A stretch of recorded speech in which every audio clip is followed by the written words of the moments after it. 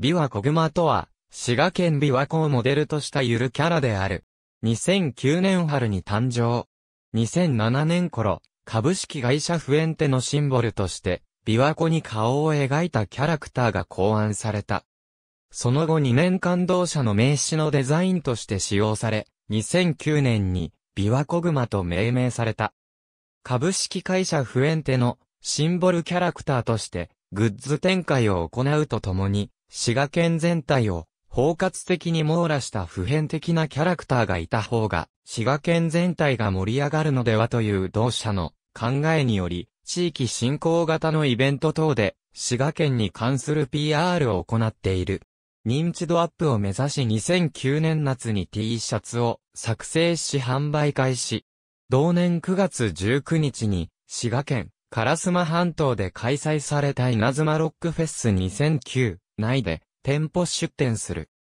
2010年春頃に着ぐるみが制作され同年稲妻ロックフェス2010にて姿が全国初披露され、その立体化した姿に多くの人が驚愕した。2010年4月8日に公式ホームページを開設。活動は不定期であり、ゆるキャラの中では遭遇するのが非常に困難な部類に入る。主に、滋賀県内の地域振興系イベントに出没することが多く、本人曰く琵琶湖を PR しているとのこと。最近は、ツイッター上でつぶやきを発信することが多く、ファンとフレンドリーかつフリーダムな交流を行っている。琵琶湖博物館内にあるお土産ショップ、おいで屋の一角に、琵琶湖熊コーナーが設置されており、T シャツや手ぬぐいなどを販売している。グッズは、専用通販ページからも購入することもできる。ゆる、キャラグランプリ2011に参加中。投票は2011年11月26日まで。イラスト時は、琵琶湖の姉川付近に顔が描いてある状態である。